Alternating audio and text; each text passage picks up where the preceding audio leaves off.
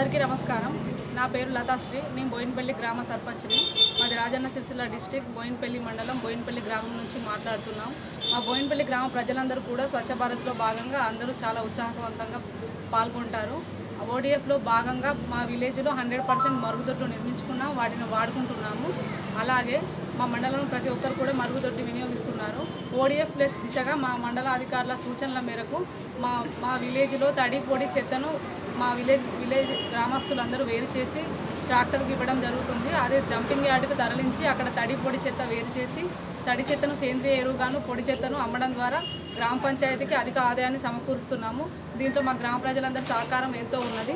అలాగే మాకు పెద్ద సమస్య ఏంటంటే ఈ కవర్లతో ప్లాస్టిక్ కవర్లతో పెద్ద సమస్య వచ్చి పడ్డది.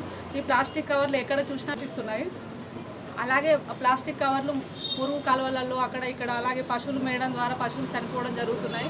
దాని ద్వారా పర్యావరణానికి ఎంతో హాని ఉన్నది కాబట్టి ఈ ప్లాస్టిక్ కవర్ల పైన ఎంత అవేర్నెస్ ఇచ్చినప్పటికీ కూడా కొందరు తెలియకుండా ఆ ప్లాస్టిక్ కవర్లను ఇంటి వద్దే కాల్చడం ద్వారా కాల్చడం ద్వారా హానికరమైన రసాయనాలు విడుదలై పర్యావరణానికి మానవ మానవాళికి ఎంతో హానికరంగా ఉన్నది కాబట్టి ఇక్కడ నుంచి మేము ఈ ప్లాస్టిక్ కవర్లను సింగిల్ ప్లాస్టిక్ కవర్లను వాడకుండా బ్యాన్ చేస్తున్నాము అలాగే ఇక నుంచి మా గ్రామంలో సింగిల్ యూజ్ ప్లాస్టిక్ను నిషేధించడం జరుగుతుంది. మేము ఇక నుంచి ప్లాస్టిక్ను వాడము. అసలు కూడా పోతున్నాయి సార్.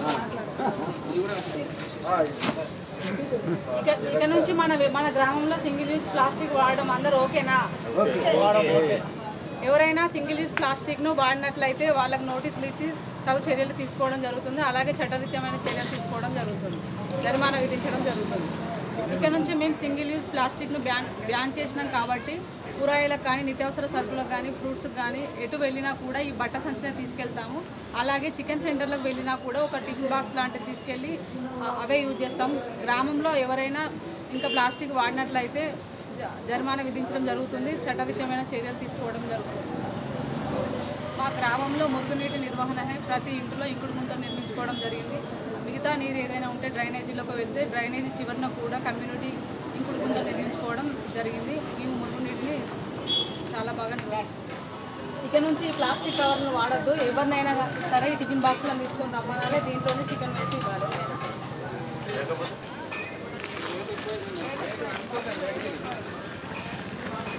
కూరగాయల కష్టం వాళ్ళకు ప్లాస్టిక్ కవర్లు మనం నిషేధించినాం కాబట్టి ప్లాస్టిక్ కవర్లలో వేయద్దు. ఎవరు కూరగాయలకు వచ్చినా బట్ట సంచుల్లో తీసుకొచ్చి రమ్మనాలి బట్ట సంచులలో మాత్రమే కూరగాయలు అమ్మాలి. సరేనా?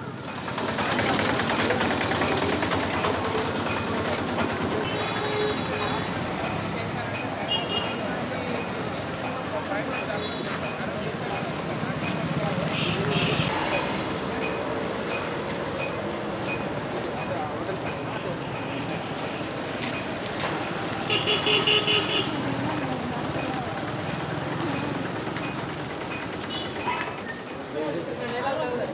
ఏం లేవు ఫైవ్ రూపీస్ ఉంటాయి సార్ ఒకటి ఐదు రూపాయలు.